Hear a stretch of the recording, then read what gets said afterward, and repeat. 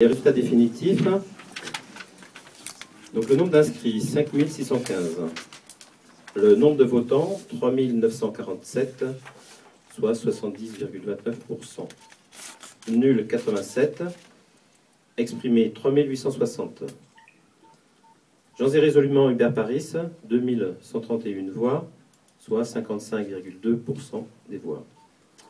Allez Jean Jean-Claude Debois, 1729 voix, soit 44,8% des voix. Donc la liste Jean résolument dispose de 23 sièges au conseil, municipal, et 8 sièges au conseil communautaire. Et la liste de Jean-Claude Debois, allez Jean dispose de 6 sièges au conseil municipal et de 2 sièges au conseil communautaire.